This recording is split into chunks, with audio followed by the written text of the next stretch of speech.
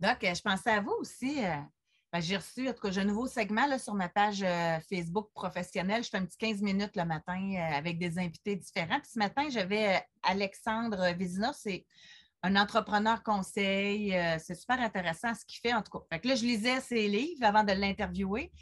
Puis euh, il disait qu'il y a beaucoup d'entrepreneurs lâches. Tu sais, lui, il ne passe pas par quatre chemins. C'est ça que j'aimais beaucoup. Puis euh, il dit pas normal qu'un entrepreneur soit déjà sur une terrasse un jeudi à 5 heures. il y, en a beaucoup. Puis je pensais à vous, je me disais, vous, une part de votre succès, c'est que vous êtes un travaillant. C'est- vous en avez mis des heures, vous travaillez, vous, euh, à l'âge que vous êtes rendu, il y en a combien qui aimeraient ça? Là, je vais au bingo. Là, c'est, mais euh, je parle La pas de vous semaine au bingo, dernière, là. 74 ans, j'ai fait mon 68 heures.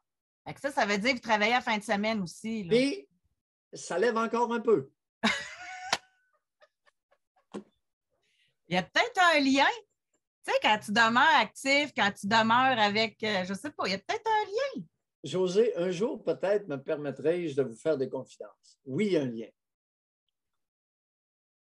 Oui, j'y crois. Pour moi, la sexualité active est équilibrante. La sexualité active me permet de travailler plus fort. Il n'y a pas de secret. Mais y a-tu de l'inverse? Le fait de travailler fort, d'être dans l'action, ça aide à la libido?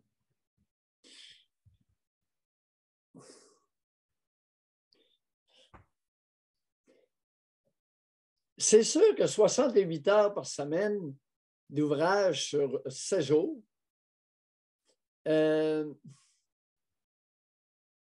pour un homme de 74, de 74 ans, ça calme la libido. OK. Mais ça ne la fait pas disparaître. OK. Ça la calme. Ben oui, les limites, là. Ah ouais. Alors, les amis, la recette, elle ne sera pas trop compliquée. Surveillez votre alimentation saine. Activité quotidienne nécessaire. Malgré les 68 heures, une heure et demie d'entraînement, d'exercice physique à tous les matins, cinq jours par semaine. Et un peu de sexe avec un minimum d'ardeur. Bon, ben là, José, tu sais tout. J'ai plus rien à dire.